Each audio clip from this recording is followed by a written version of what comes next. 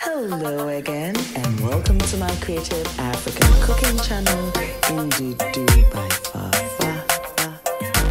Thank you again for joining me for the second part of this three parts series how to make the best smoky jollof rice party. Now, this is one of those dishes that, you know, it brings everybody to the yard.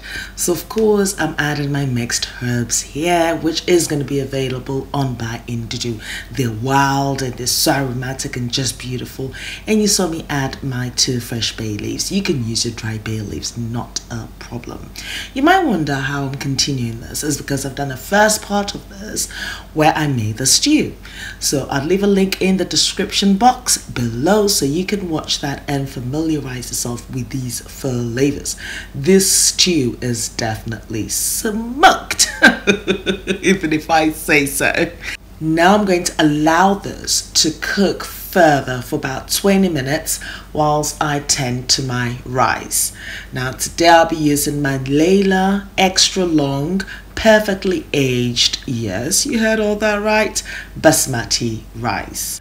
Now, when it comes to jollof rice recipes, I think I do have countless of recipes. And yes, I will group them into playlist and you can watch and tell me which one is your favorite. On this occasion, I am going to wash my rice twice because it has less starch content. Now, I think that my stew is looking good and it's ready for me to add my rice, but I think I'd reserve a little bit of the stew as well because I've got a little surprise coming up in part three. Now, what I tend to find is people that prefer jasmine rice do not like basmati rice. They find basmati rice um, flavorless, interestingly enough. However, depending on the flavor of jollof rice that you're making, if it has strong flavors like this, whereby it's quite smoky, then yes, basmati rice works perfectly. Now, when you're going for subtle flavors, but more of an aromatic part, whereby the jasmine rice, the flavor of the jasmine rice still is retained, then yes, it's best for you to use your jasmine rice. As I mentioned, just check all the jollof rice recipes I've created. And yes, we're moving it forward, we're keeping it forward. And I'm sure I've just learned and improved myself as time has gone on. Now I'm dry frying this for about, you know, five to eight minutes just to ensure every grain of rice is infused with my flavor. Now to enhance that flavorness, I'm adding some German salami. You can add your smoked sausages if you wish. You can omit this altogether. But I think this just gave it that extra oomph exactly. And I also added that sort of like a little meaty flavor to the dish. So this is one thing that you know, most of you guys will go like, mm, what is this? Then you know that's your little secret ingredient. So here I've got my stock. Yes, you can use chicken stock if you do have that.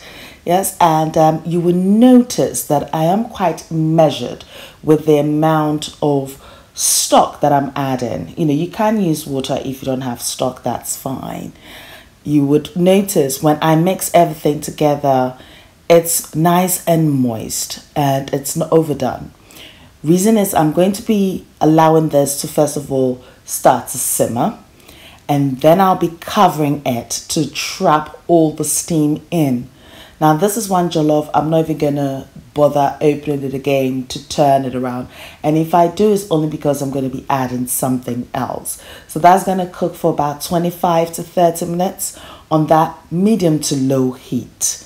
So as I mentioned, I'm using my foil today and it doesn't even touch the rice. So you could see it's up there and I've used the lid and I've covered it. So after 20 minutes, I'm now going to be adding my secret ingredients, which is just going to make this jollof soche. I'm using goat's butter. Now, I did a recipe like this and I did show it on my Instagram and everybody was excited about it.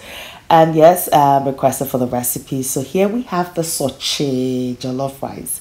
This is the one to impress your friends, your family, or whoever you want to impress in your life. You know what I mean? And look at that. Look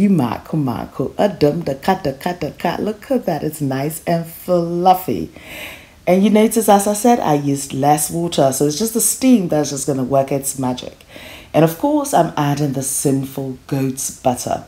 So just imagine you've got that smoky turkey flavor. And then you've got the German salami. I know, right? And now you've got goat's butter. In Dubai, Fafa, what are you doing? Please leave our dishes alone. Keep it sacred. Yes, I have done the sacred one, but you know what? Life is about color and different things, so why not?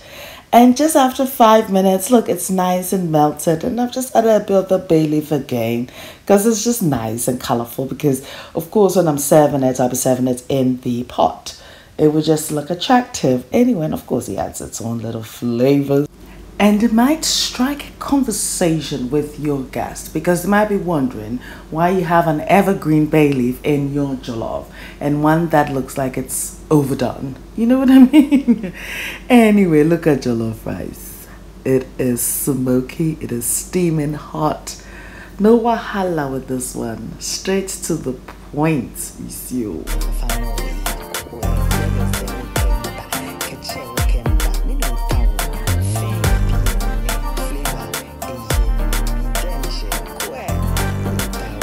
Now, to my loyal subscribers and to my new subscribers, you're welcome. Thank you all for the support.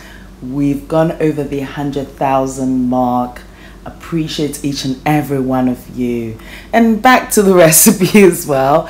Um, I've got the smoked turkey and a little bit of the sauce left, and I'm just adding a little bit of my basil leaves. Now, the third and concluding part of this jollof rice party is gonna blow your mind because it comes with some extra flavors that you go like, say what? Exactly. You know that Ndudu I've got your back.